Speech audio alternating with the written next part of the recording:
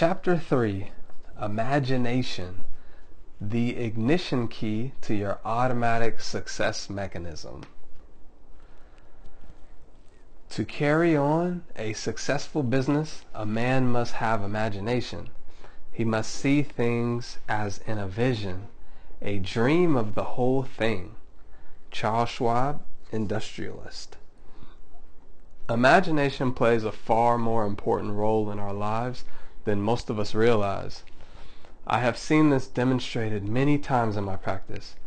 A particular a particularly memorable instance concerned a patient who was literally forced to visit my office by his family. He was a man of about 40, unmarried, who held down a routine job during the day and kept to himself in his apartment when he when the work day was over. Never going anywhere, never doing anything. He had many such jobs and never seemed to stay with any of them for a great length of time.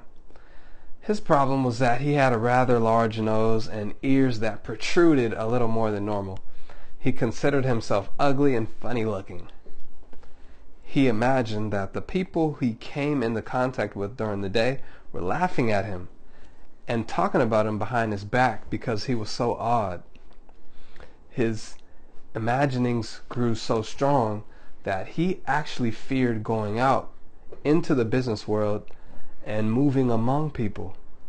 He hardly felt safe even in his own home. The poor man even imagined that his family was ashamed of him because he was peculiar, peculiar looking, not like the other people.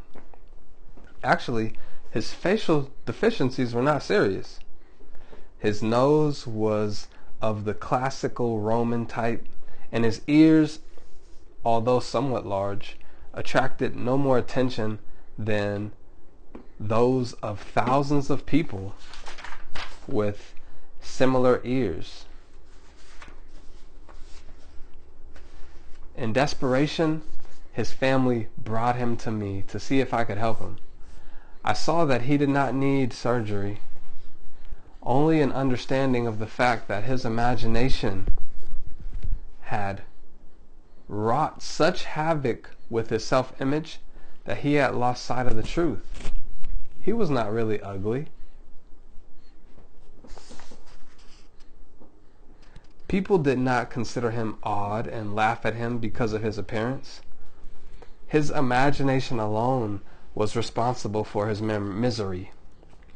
His imagination had set up an automatic failure mechanism within him and it was operating full blast to his extreme misfortune. Unfortunately, after several sessions with him and with the help of his family, he was gradually able to realize that the power of his own imagination was responsible for his plight. And he succeeded in building up a true self-image and achieving confidence that he needed by applying the creative imagination rather than destructive imagination. You might say he needed emotional surgery, not physical surgery with an actual scalpel. In the latter years of my surgical practice, I became quite skilled at talking myself out of business. this is an analogy for the experiences of thousands of people, quite possibly in one way or another, including you. No, you may not feel ashamed of your nose or ears or any other physical feature, but you may not be a recluse. Many people believe there is something about them that causes others to look down on them, to ridicule them behind their backs, to reject them, something that prevents them from progressing in certain ways. One of the smartest, most successful, and prolific idea men I've ever known in the advertising field has had a lifelong pattern of rising to high income then suddenly experiencing circumstances that pull the rug out from under him so that he must rebuild from scratch his reputation, and his finances. One month, he was living in a mansion. The next in a motel. He admitted to me and to others that he has spent his entire life trying to escape the iron-fisted grip of what he calls his white trash ancestry. And to paraphrase Al Pacino in one of the Godfather movies, just as he gets out, he is again pulled back. Of course, this thing that keeps pulling him back does not exist in the physical world, only inside his own image. It's his ugly nose and big ears. What's yours? Ironically, even though his entire business is the imagination business, he has yet to discover how to use his imagination as a scalpel in emotional surgery to rid himself of his self-image of its big nose. Creative imagination is not something reserved for the poets, the philosophers, the inventors. It enters into our every act Imagination sets the goal picture that our automatic mechanism works on. We act or fail to act not because of will, as is so commonly believed, but because of imagination. This is the most important statement to be gleaned from this entire book.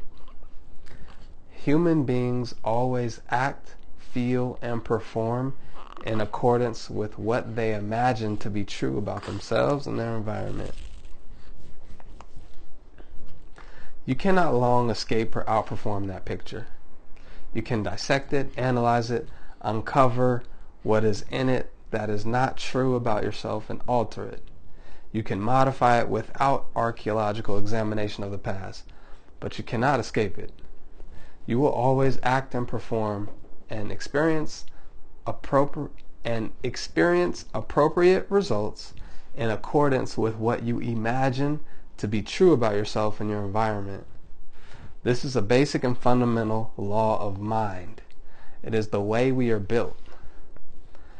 When we see this law of mind graphically and dramatically demonstrated in a hypnotized subject, we are prone to think that there is something occult or supernormal at work, or to discredit it as simple stage illusion.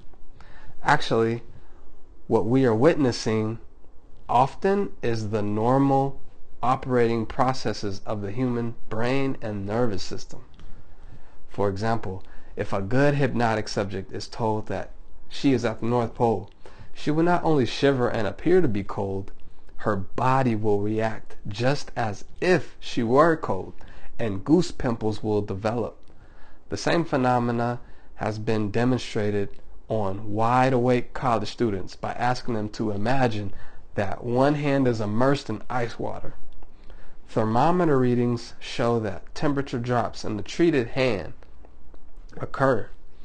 Tell a hypnotized subject that your finger is red hot, and he will not only grimace with pain at your touch, but his cardiovascular and lymphatic systems will react just as if your finger were a red hot poker and produce inflammation and perhaps a blister on the skin. In one demonstration, when college students were wide awake,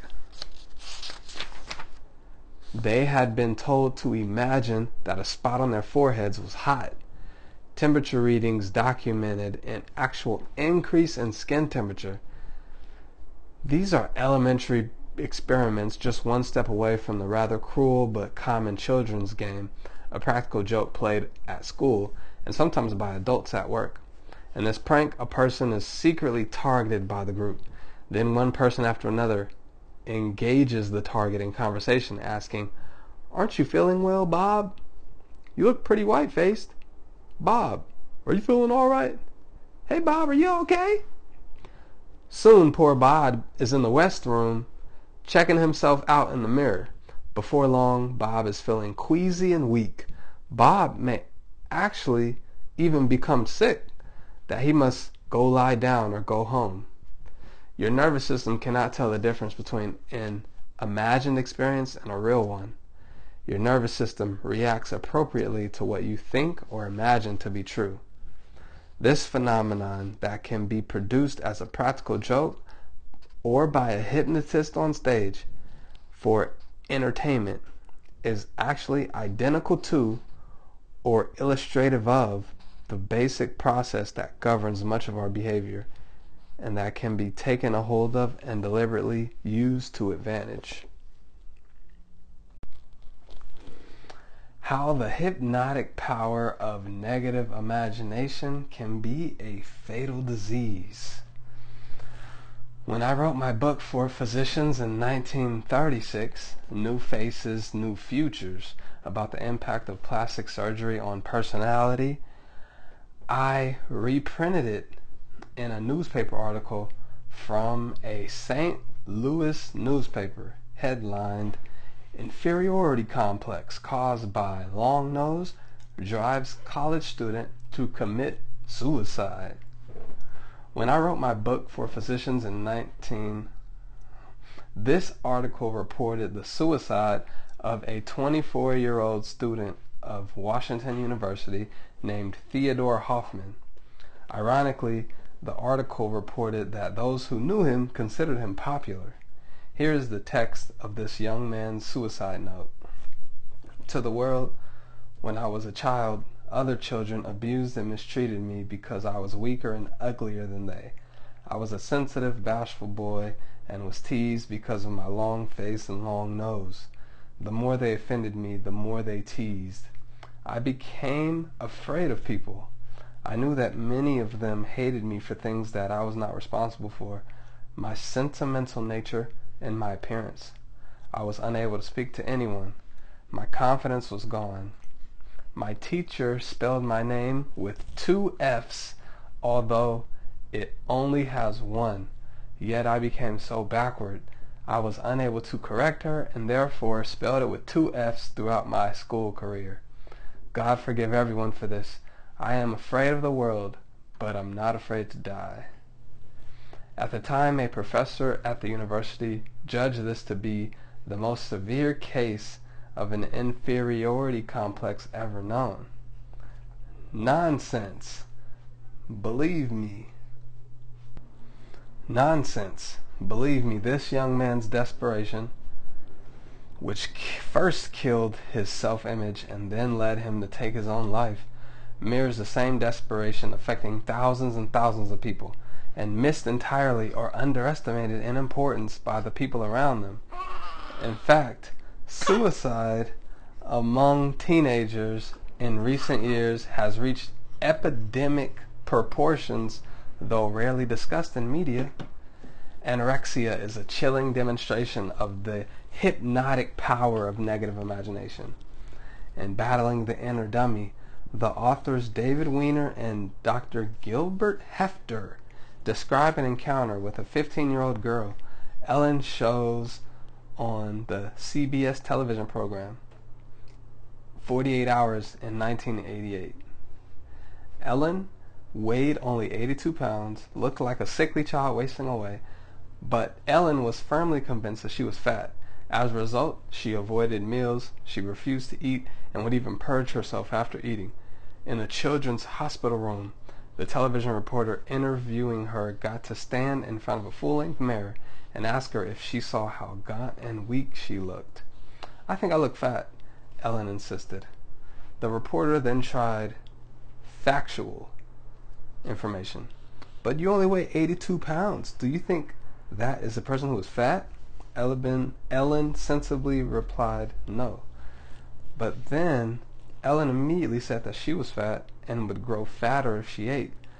So, determined to not eat, Ellen would pull out the intravenous feeding needles if not closely supervised. For parents, teachers, counselors, and coaches, this should be a cautionary tale, a vivid reminder of the need to be ever vigilant for some young person whose self-image is shrinking so drastically that self-inflicted harm is likely to follow. For all, it is a vivid illustration of the incredible power of imagination. A person can so magnify the importance of some flaw and of the world's response to the flaw with his own negative imagination that he commits suicide.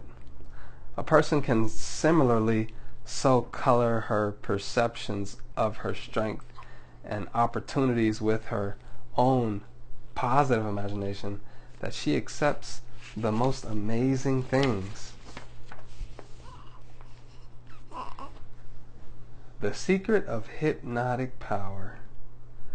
In the 1950s, Dr. Theodore, Theodore Xenophon Barber conducted extensive research into the phenomena of hypnosis, both when he was associated with the psychology, psychology department of American University in Washington, D.C., and also after becoming associated with the Laboratory of Social Relations at Harvard.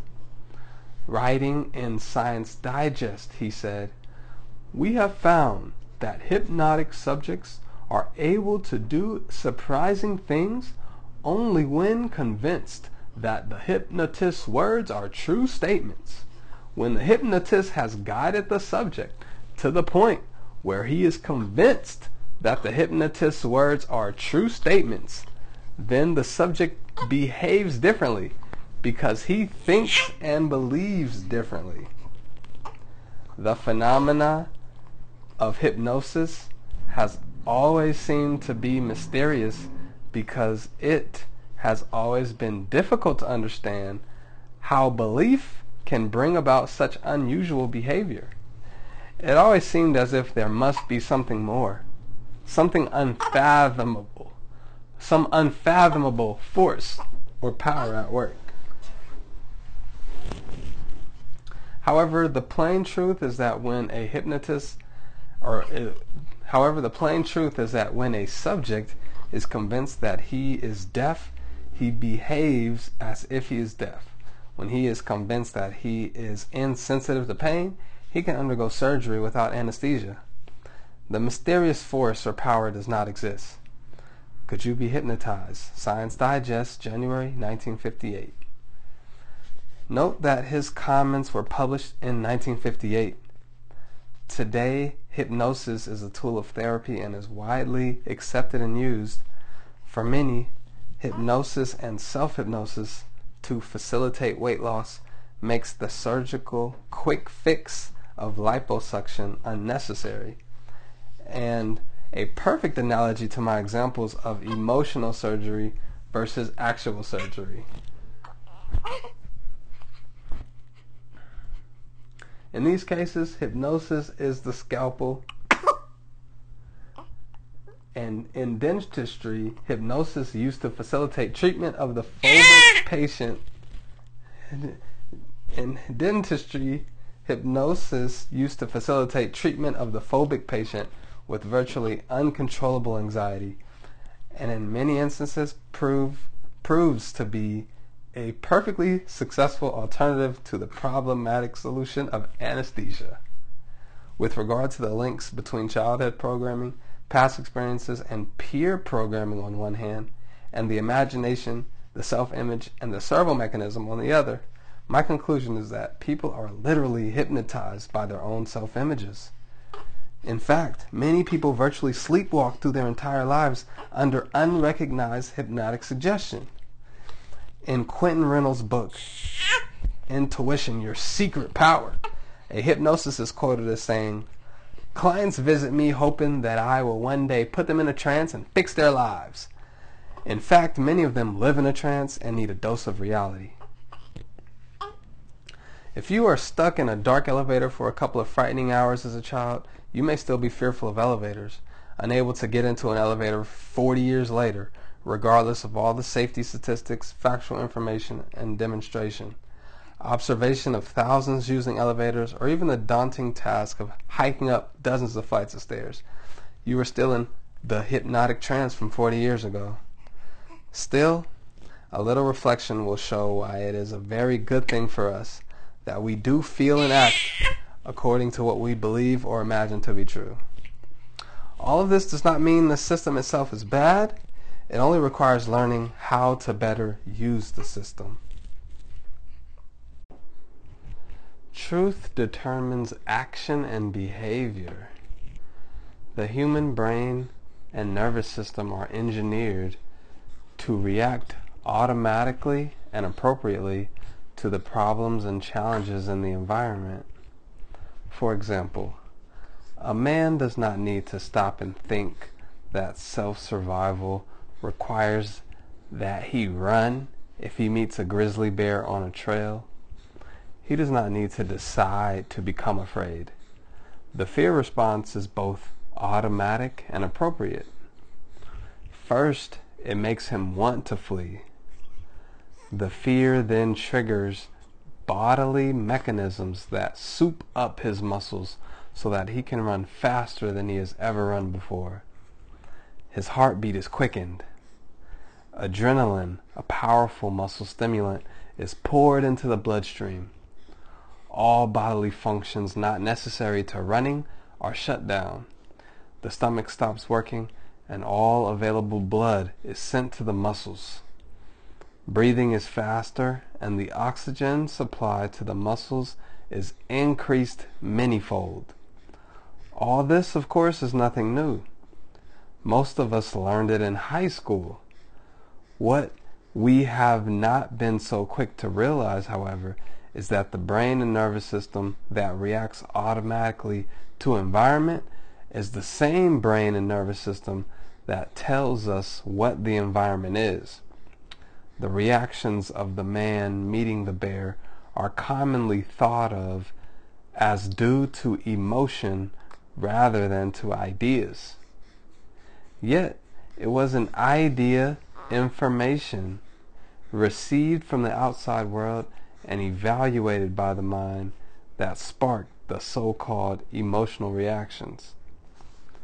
Thus, it was basically idea or belief that was the true causative agent rather than emotion, which came as a result. In short, the man on the trail reacted to what he thought, believed, or imagined the environment to be. The messages brought to us from the environment consists of nerve impulses from the various sense organs. These nerve impulses are decoded, interpreted, and evaluated in the brain and made known to us in the form of ideas or mental images. In the final analysis, it is these mental images that we react to. Note that I've used the term thought, believed, and imagined as synonymous. In affecting your environment, they are all the same. You act and feel not according to what things are really like, but according to the image your mind holds of what they are like.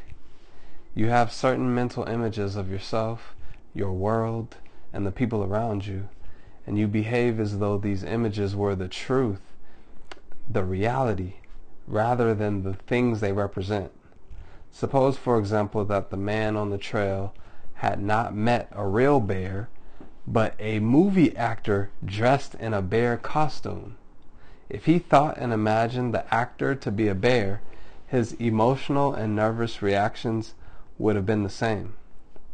Or suppose he met a large shaggy dog, which his fear-ridden imagination mistook for a bear. Again, he would react automatically to what he believed to be true concerning himself and his environment. It follows that if our ideas and mental images concerning ourselves are distorted or unrealistic, then our reaction to our environment will likewise be inappropriate. Can these causative factors change? Certainly. Consider the child raised in an intentionally segregated environment by racists. The child could be a white person in a family of white supremacists who devoutly believe blacks are evil and a threat to their well-being.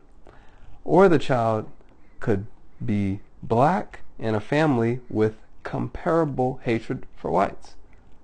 Either way, the child is programmed with certain beliefs that will govern their behavior. In their imagination, they construct certain truths that will be very difficult to modify as they mature. However, some people make a 180 degree change in their beliefs and behavior at some point in their lives. These days, this has become a popular staple of the confrontation style daytime TV talk shows. How does a person change?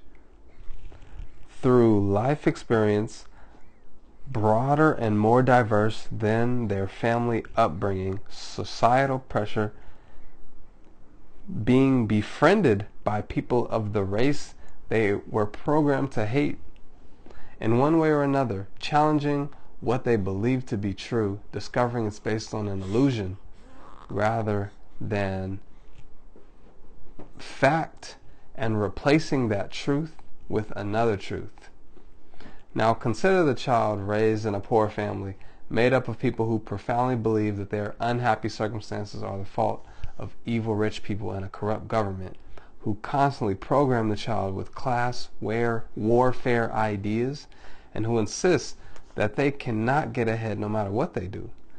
This truth may very well block that person's academic achievement, direct him away from college, have him blindly follow his father to work in the factory or the coal mine.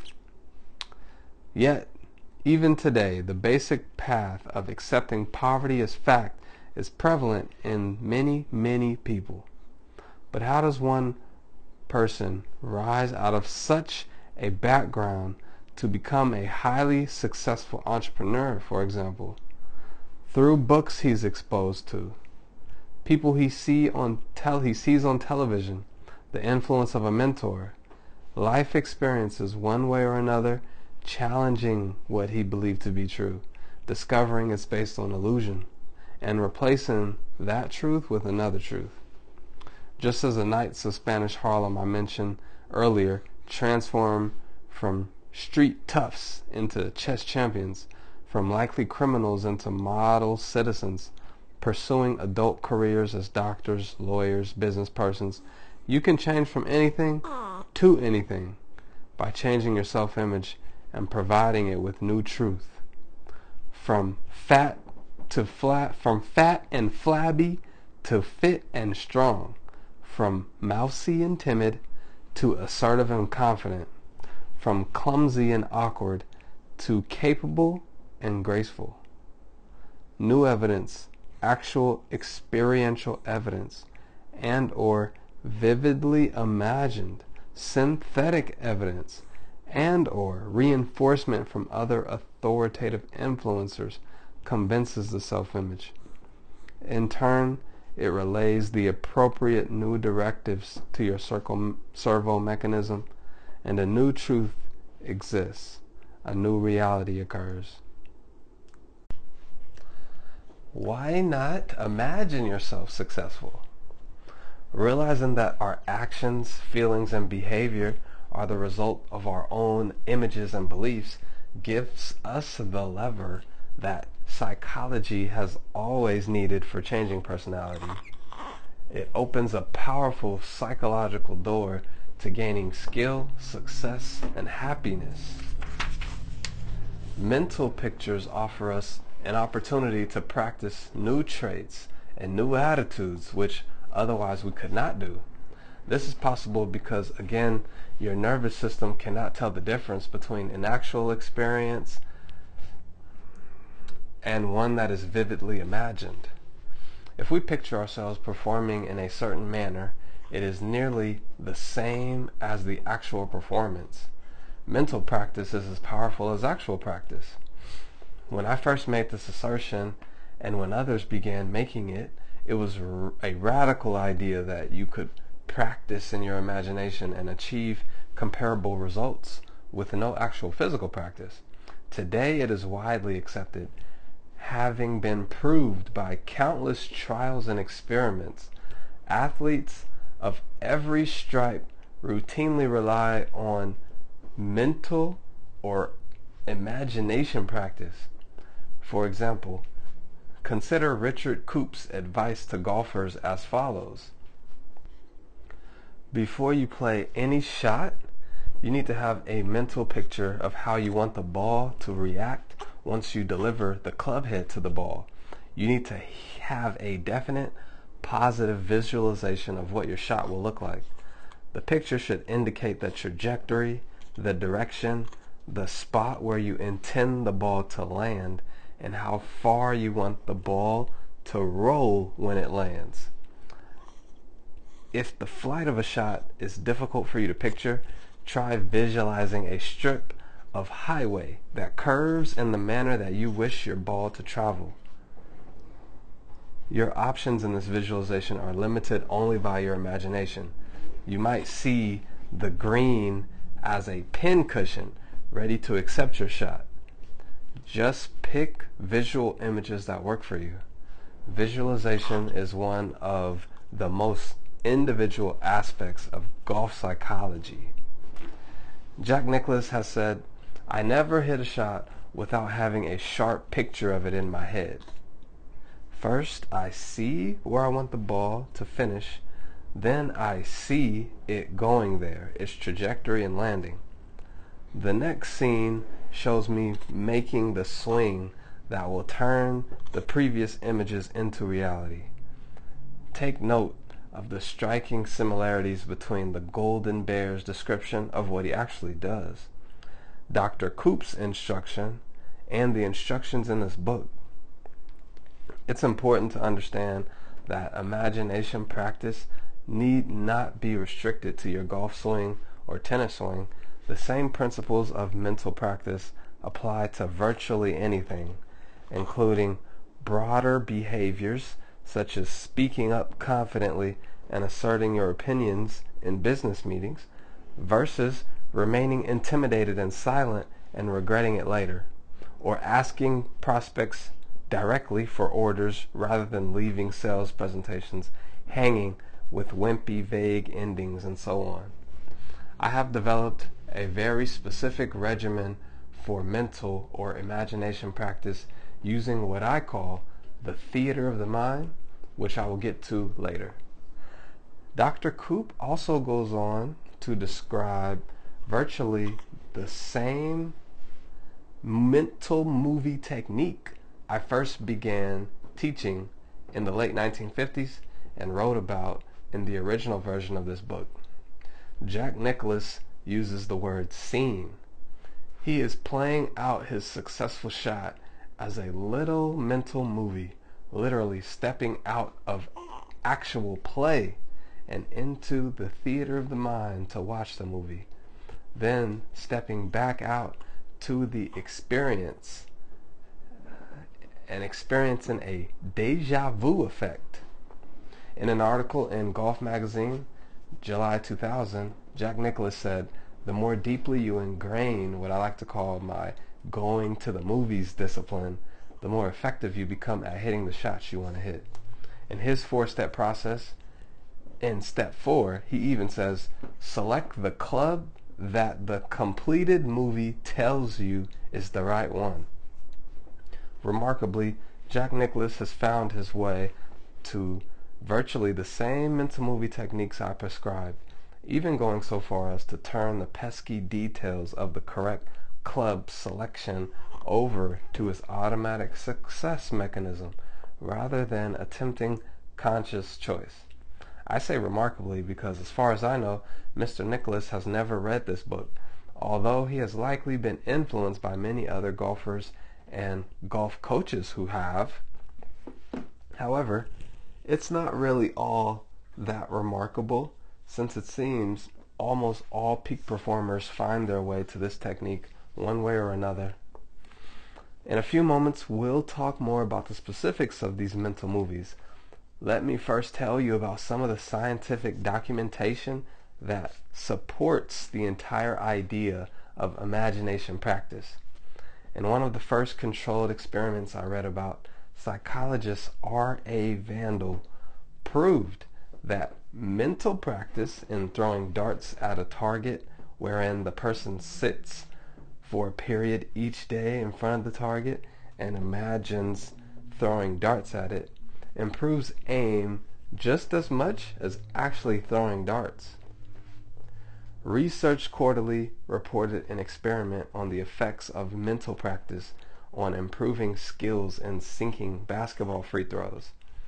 One group of students actually practiced throwing the ball every day for 20 days and were scored on the first and last days.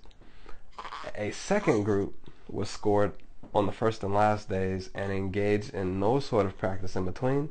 And a third group was scored on the first day, then spent 20 minutes a day imagining they were throwing the ball at the goal.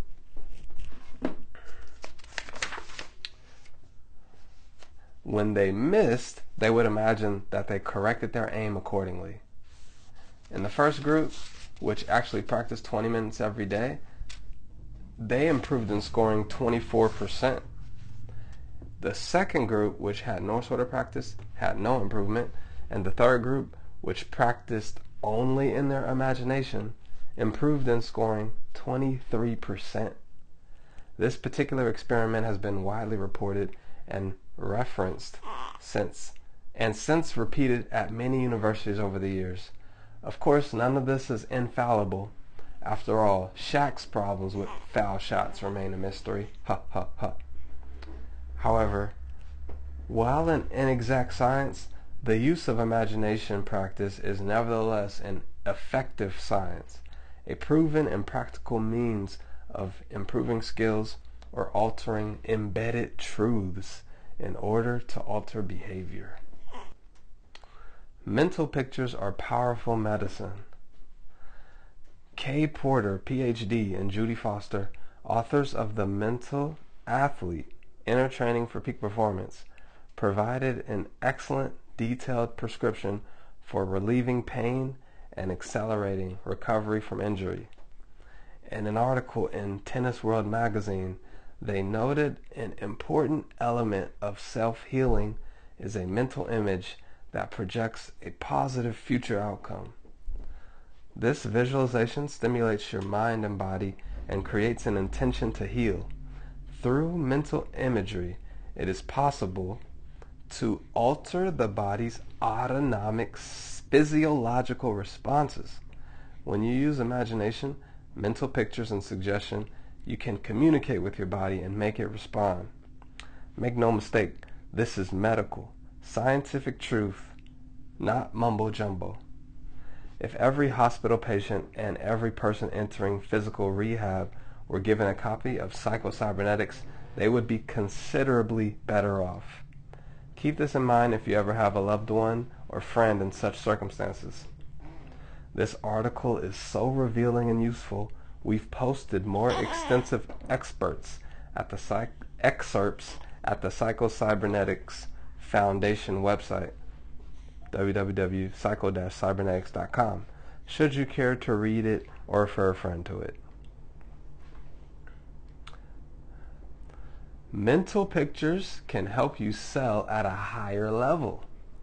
In his book, How to Make 25000 a Year Selling, Charles B. Roth told how a group of salespeople in Detroit who tried a new idea increased their sales 100% in another group in New York, they increased their sales by 150%.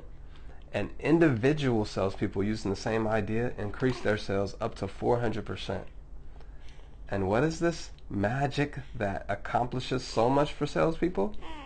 From Dr. Roth's book, he says, it's something called role playing, and you should know about it because if you let it, it may help you to double your sales.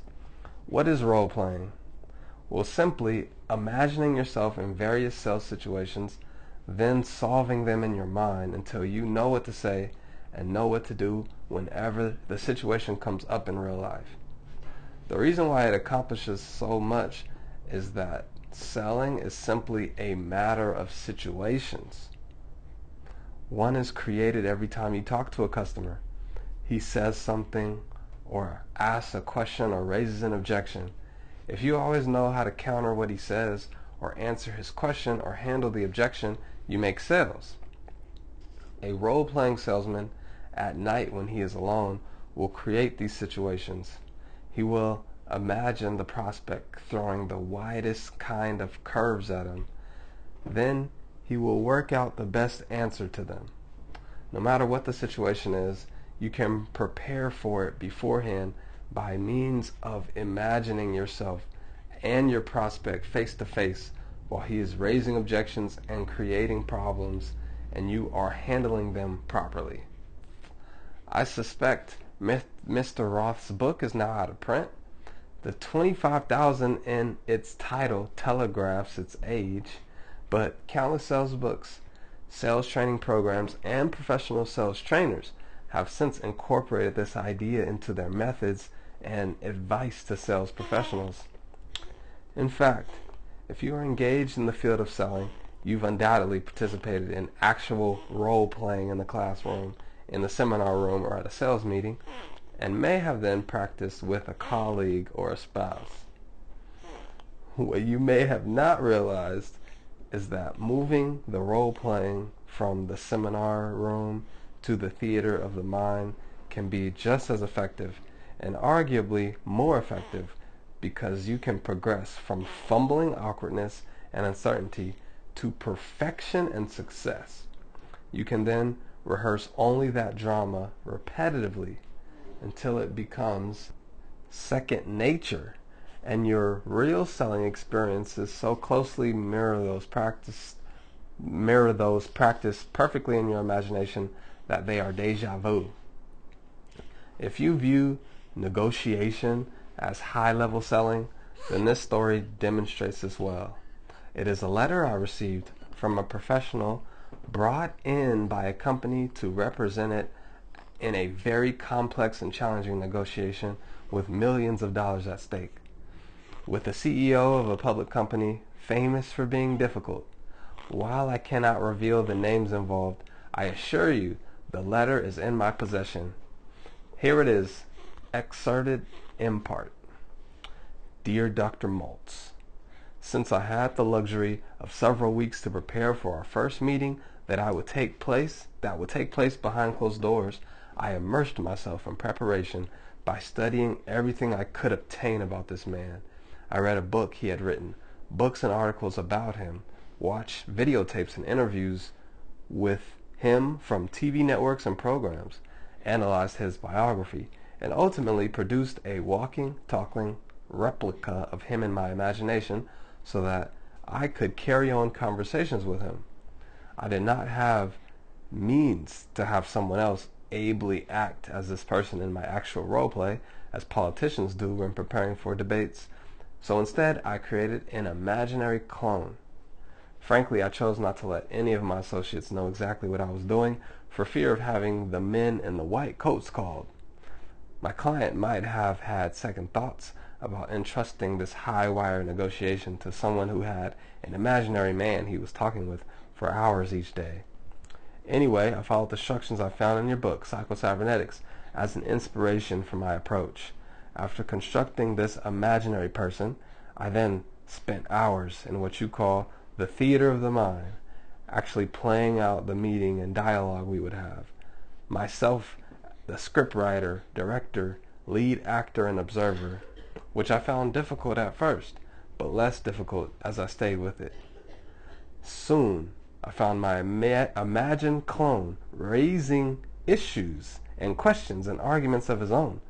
Once I recall sitting in my easy chair, eyes closed, immersed in this imaginary meeting, catching myself, losing my temper, and pounding my fist on the arm of the chair. As this evolved into a mental movie with a successful outcome, I transitioned into replaying that identical movie repeatedly. I even went so far after many viewings to write it out word for word, as if a courtroom transcriptionist was there to accurately record our conversation word for word. Here is what is remarkable. When the actual meeting took place, not only did it follow my script in order and flow, and not only did I voice things exactly as I had many times in the mental movie, as you might expect. But he also performed as if he were working from the very same script. In his letter, he goes on to describe a very successful outcome and earning a substantial fee. By the way, I received this letter in 19, 1974, 14 years after the first publication of my book. He made mention of noting its copyright and at first questioning how relevant and beneficial such old techniques might be. You may very well be reading this book 40 years or more after the first edition, and even after I have left the living. It will not matter. These techniques will be used by top professionals in every field of endeavor long after the bulky computer has been reduced to a device you can wear on your arm like a wristwatch. There is now a book based on psychocybernetics specifically for professional salespeople, Zero Resistance, Zero Resistance Selling, available in bookstores or at psychocybernetics.com. Use mental pictures to get a better job. The late William Marston, well-known psychologist, recommended what he called rehearsal practice to men and women who came to him for help in job advancement. If you have an important interview coming up, such as making an application for a job, his advice was plan for the interview in advance. Go over it in your mind, all the various questions you are likely to be asked. Think about the answers you're going to give, then rehearse the interview in your mind. Even if none of the questions you have rehearsed come up, the rehearsal practice will still work wonders. It gives you confidence. And even though real life has no set lines to be recited like a stage play, rehearsal practice will help you to ad-lib and react spontaneously to whatever situation you find yourself in because you have practiced reacting spontaneously. This should come as no surprise based on everything I just had to say about mental rehearsal for sales professionals. In a job interview, you are selling yourself. You are the product and its sales representative.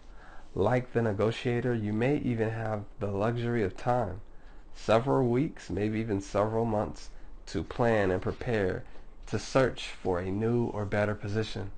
If so, by all means, use it to your advantage by using your imagination to construct the perfect job interview so that when the actual interviews take place, you'll be relaxed, confident, and comfortable. A concert pianist practices in his head. Arthur Schnabel, the world famous concert pianist, took lessons for only seven years. He hated practice and seldom practiced for any length of time at the actual piano keyboard. When questioned about his small amount of practice as compared with other concert pianists, he said, I practice in my head. C. G. Kopp of Holland, a recognized author on teaching piano, recommends that all pianists practice in their head.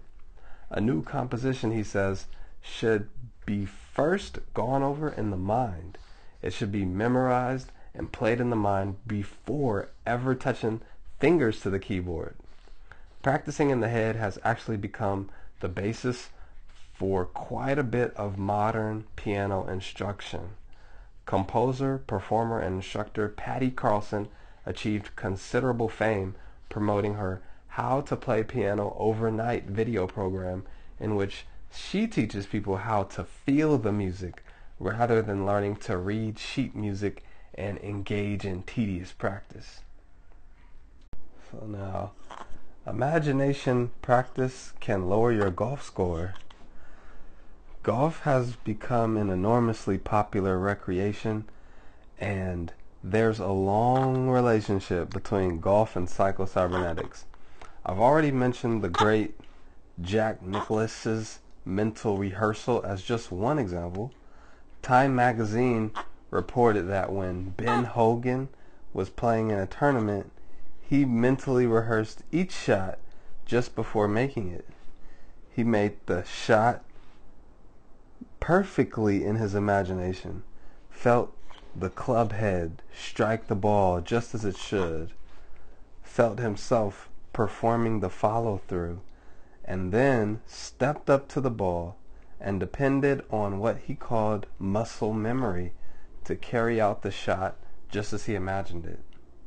Ben Hogan was ahead of the curve of modern golf psychology, which has become an industry unto itself and is largely based on visualization and relaxation techniques. Alex Morrison, perhaps the best known golf instructor in the world at the time I was writing the first edition of this book, actually worked out a system of mental practice to improve your golf score while sitting in an easy chair and practicing mentally what he called the seven Morrison keys. According to Morrison, the mental side of golf represents 90% of the game, the physical side 8%, and the mechanical side 2%. In his book, Better Golf Without Practice, Morrison told how he taught Lew Lehr to break 90 for the first time with no actual practice whatsoever. Morrison had Lehr sit in an easy chair in his living room and relax while he demonstrated for him the correct swing and gave a brief lecture on the Morrison keys. Lehr was instructed to engage in no actual practice on the links, but instead spend five minutes each day relaxing in his easy chair, visualizing himself attending to the keys correctly. Morrison goes on to report how several days later, with no physical preparation whatever, Lehr joined his regular foursome and amazed them by shooting nine holes in an even par 36. The core of the Morrison system is you must have a clear mental picture of the correct thing before you can do it successfully. Morrison, by this method, enabled many celebrities to chop as many as 10 to 12 strokes off of their scores. Clearly see the target and let your automatic success mechanism take care of the details. John Bulla, a well-known professional golfer, wrote an article in which he said that having a clear mental picture of just where you wanted the ball to go and what you wanted it to do was more important than form in golf. Most of the pros, said Bulla, have one or more serious flaws in their form, yet they manage to shoot good golf. It was Bulla's theory that if you picture the end result and see the ball going where you want it to go and have the confidence to know what know that it was going to do what you wanted your subconscious will take over and direct your muscles correctly. If your grip was wrong and your stance was not in the best form, your subconscious would still take care of that by directing your muscles to do whatever was necessary to compensate for the error in form. This describes the payoff of mastering these psychocybernetics techniques, that you reach a point of efficiency where you can simply, quickly, hand a clear picture of the desired outcome over to your servo mechanism and let it take care of the mechanical details of making that outcome take place. Golf is such an excellent laboratory for these techniques because unlike many other sports, it is stripped down to pure competition with yourself. Morrison's coaching of Lehr exclusively with mental practice came many years before Tim Gallwey, author of The Inner Game of Tennis, accepted the challenge of an experiment to see how much golf he could learn just by adapting the inner game mental skills he had developed in playing and coaching tennis. He set the goal of breaking 80 while playing only once weekly, receiving no technical instruction, and otherwise relying on practice and his imagination in one year or less. At that time, he played only several times a year, scoring between 95 and 105. His diary of that experiment is included in his book, The Inner Game of Golf. The book is well worth reading whether you have any interest in golf or not, as it is a thoroughly detailed case history in the triumph of mind over mechanics or technical information, actually the triumph of psychocybernetics. Over the years, I've had the pleasure of working with many top golfers and golf instructors, and although professional discretion requires me to maintain confidentiality for most of them, some engineered their improvement with only this book and no other assistance from me. Here's one that is public knowledge. In 1964, Dave Stockton was struggling to survive on the Pro Tour. Overall, I was playing well, but my putting was lousy. Stockton told an L.A. Times reporter. My father, a retired pro, insisted my put- putting problems were mental, not physical. And he gave me a copy of Psycho Cybernetics to read. I read it just one week before the PGA tournament. Then I went in knowing I was going to win. Dave Stockton beat Arnold Palmer in that event and went on to enjoy a long and successful career. In fact, he became most famous for his putting. And 22 years later, Dave won the U- the 1996 U.S. Senior Open. The real secret of mental picturing. Successful men and women have, since the beginning of time, used mental pictures and rehearsal practice to achieve success.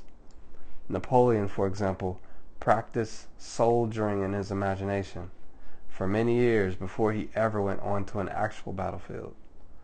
Webb and Morgan, in their book Making the Most of Your Life, tells us that the notes of Napoleon made from his readings during these years of study filled, when printed, 400 pages. He imagined himself as a commander and drew maps of the island of Corsica, knowing where he would place his calculations with mathematical precision. Conrad Hilton imagined himself operating a hotel long before he ever bought one. As a boy, he used to play that he was a hotel operator. His earliest successes were in buying dilapidated dowager properties and restoring their beauty rebirthing them as first-class properties. He said that when he spotted such a property to acquire, he ceased seeing its actual condition, instead formed a vividly detailed collection of photographs in his mind of the hotel as it would appear after its makeover. By seeing what would be, he saw value invisible to others. A strong mental picture can pull you towards success even when you have no logical argument for it. Jane Savoie is one of the most respected horse riding coaches in America. In 2000, she coached the U.S. Olympic equestrian team competing in Sydney. She describes an instance in which imagination, power superseded probabilities. Take, for example, my experience at the screening trials for the North American Championship in 1989. I had a whole bunch of facts that supported the improbability of my doing well at the screening trials. I have a top horse, Zapatero, but the other facts were, one, Zapatero was new to me, and we had not time to develop a solid relationship and real communications. Two, he was a young horse and not yet strong enough to do what was required. These facts made it difficult to imagine the perfect test, so I visualized the awards ceremony instead. Several times over the course of the day, I would find a quiet spot, close my eyes, relax, and visualize leading the victory lap. In the process, I stopped thinking about the facts, and thus prevented doubts and insecurities from creeping in. When the results were posted, Zapatero and I were in fact there to lead the lap of honor. It sounds incredible, and I in no way minimize the necessity for all the preparation and hard work involved, but mentally zeroing in on the desired results as if they were already there in existence was an significant factor in our ultimate success. It was important to focus on a positive outcome as a foregone conclusion rather than allow my rather vivid imagination to conjure up failure pictures. in my mind, servo mechanism could then supply the means to achieve my goal by helping me to letting me ride skillfully and effectively. Of course, the skeptic would want to attribute this incident to coincidence or luck, but Jane Savoie is a practiced, skilled practitioner of psychocybernetics with many evidentiary incidents to support her convictions. In fact, she has utilized psychocybernetics for many years as an instructor and ch- coach of champion riders. As noted, most recently with the Olympic team. In a single, simple, vividly imagined picture of successful achievement, that could be enough to block out doubts, fears, insecurities, and worries and direct the success mechanism to the desired target. Full-scale mental rehearsal is even more important. There is simply no sensible case to be made anymore against incorporating mental rehearsal into your own daily regimen, whether you are a pro or a weekend athlete, sales professional, entrepreneur, executive, school teacher, doctor, whatever. This evidence mandates that you learn and use this tool and do so regularly for a myriad of productive purposes. It's fair to insist that if you are not utilizing this approach, you are operating without benefit of one of the fundamental, universal, most relied on psychological tools of success we know of. It's much like being a carpenter choosing to operate without the benefit of electric power and power tools. You could, but why?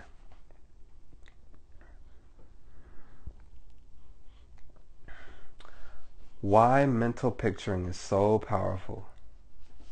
The science of cybernetics gives us insight into why mental picturing produces such amazing results.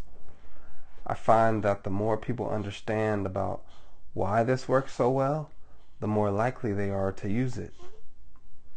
This automatic success mechanism within you, a highly complex, automatic, goal-seeking machine that steers its way to a target or goal by use of feedback data and stored information, automatically correcting course when necessary, can operate in only one way. It must have a target to shoot at. As the famous golf instructor Alex Morrison said, you must first clearly see a thing in your mind before you can do it.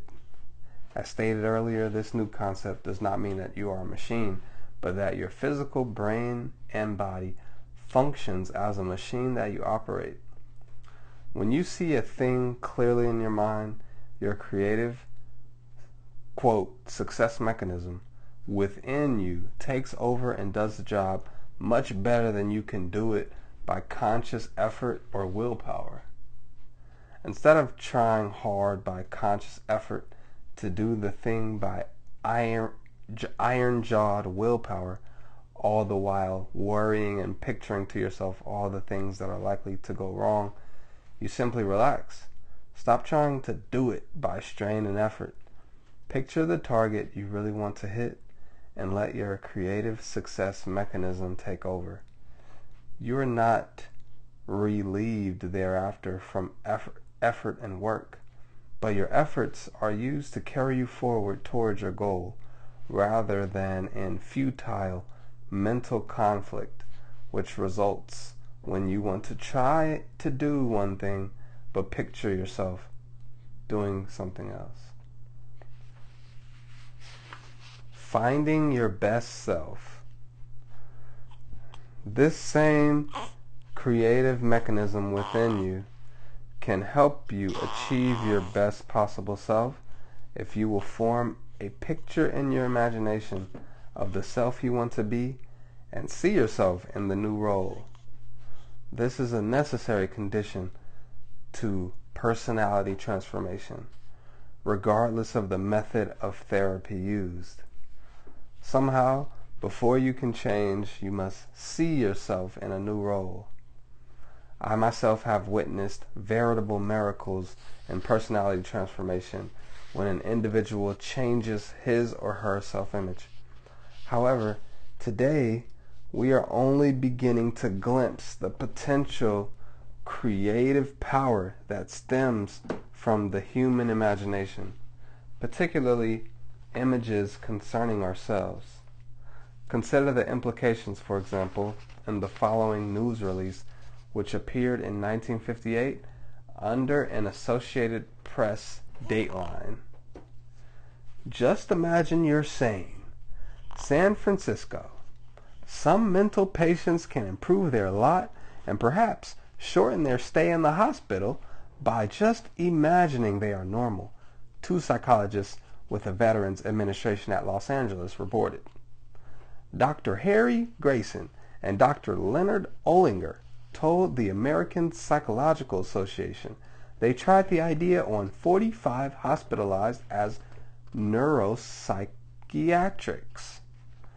The patients were first given the usual personality test.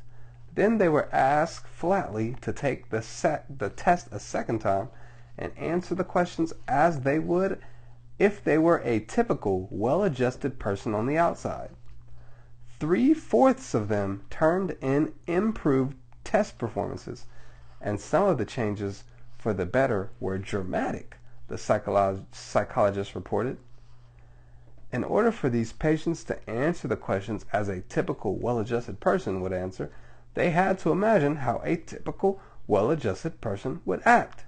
They had to imagine themselves in the role of a well-adjusted person. And this in itself was enough to cause them to begin acting like and feeling like a well-adjusted person. I am not certain what became of these good doctors and their innovative experiments. However, we know today that every aspect of self-image psychology, the very idea of self-image as steersman, and related techniques like act as if visualization are widely accepted and used in assisting the mentally ill, the handicapped, addicts, and incarcerated inmates involved with rehabilitation. Of course, you are probably not clinically insane or addicted to chemicals, but more likely a successful individual looking to psychocybernetics to help you do even more or to improve some aspect of your life. The fact that these techniques have become part and parcel of most therapies and treatments for people with far more severe emotional and psychological difficulties than you face or can even imagine holds out for you the promise that they can be even more powerful, fast acting, and effective from your comparable starting point. Discover the truth about yourself.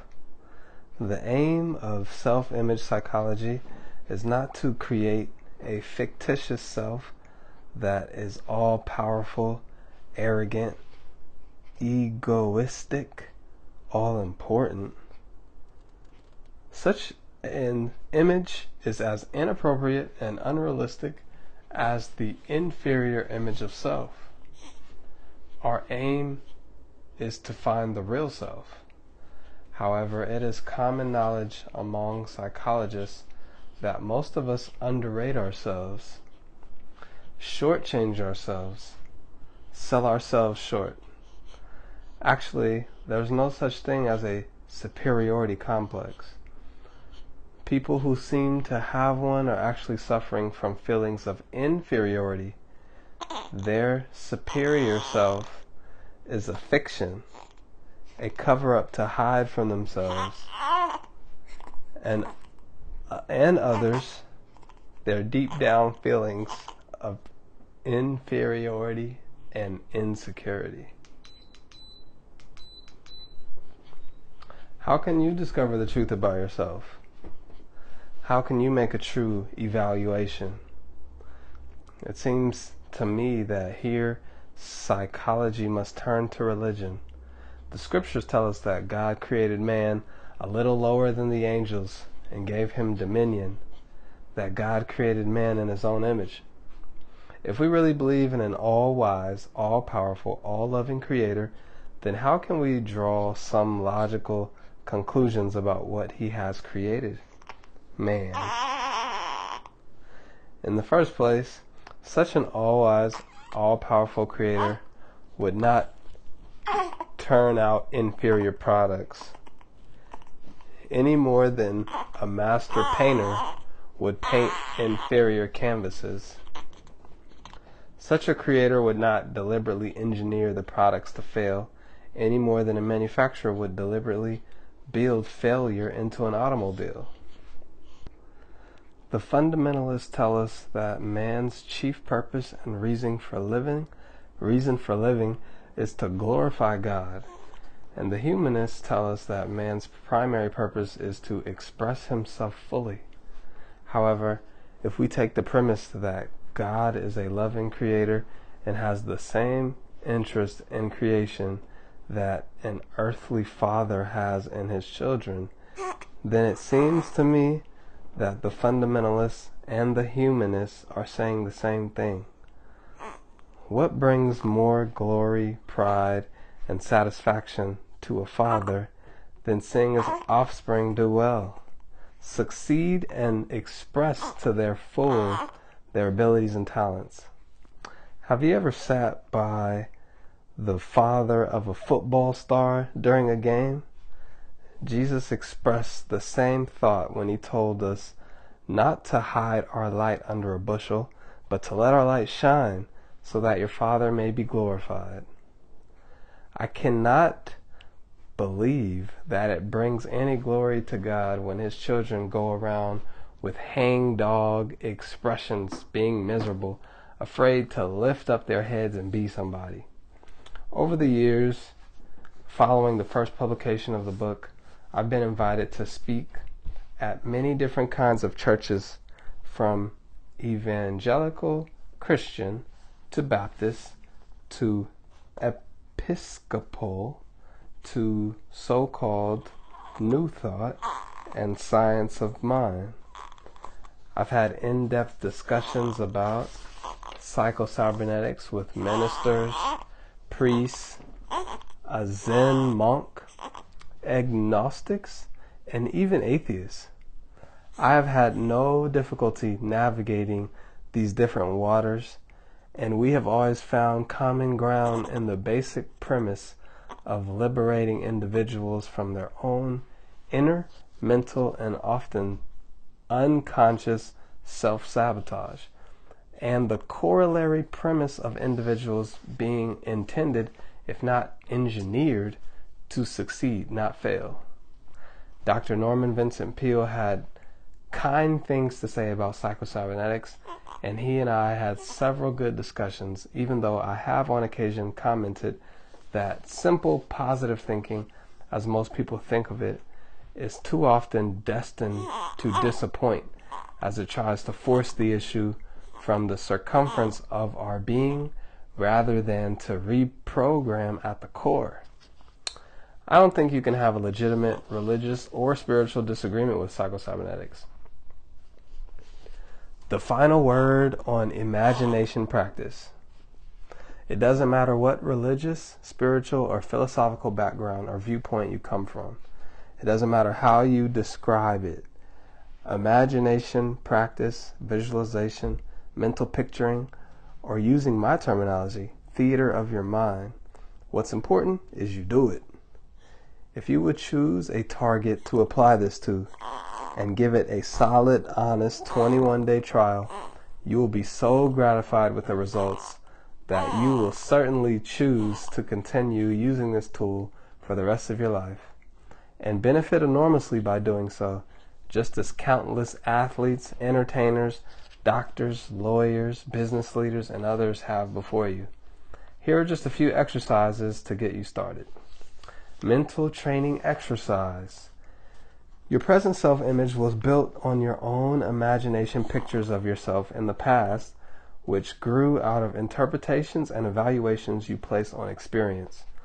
Now you're going to use the same method to build an adequate self image that you previously used to build an inadequate one.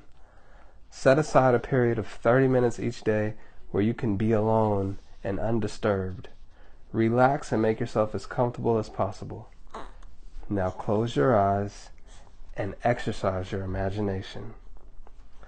Many people find they get better results if they imagine themselves sitting before a large motion picture screen and imagine that they are seeing a motion picture of themselves. The important thing is to make these pictures as vivid and as detailed as possible. You want your mental pictures to approximate actual experience as much as possible. The way to do this is to pay attention to the small details, sights, sounds, objects in your imagined environment.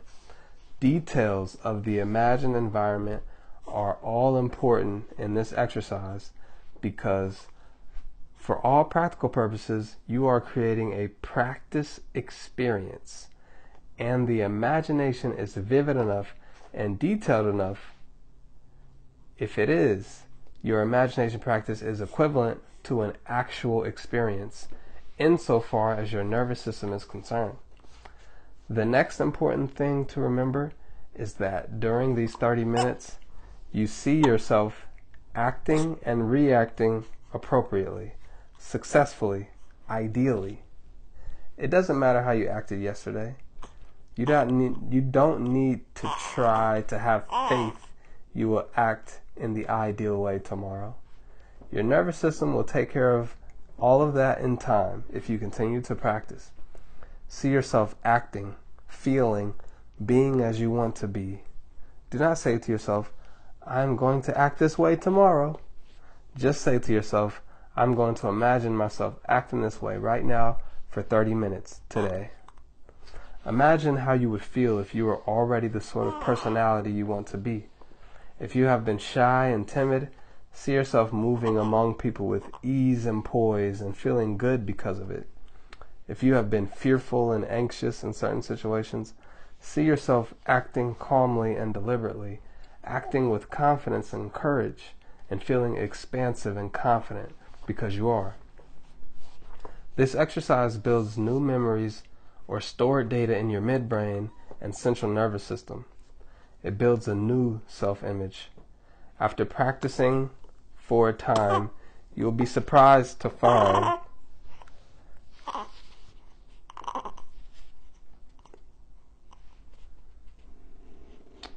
After practicing it for a time, you will be surprised to find yourself acting differently, more or less automatically and spontaneously without trying. This is as it should be.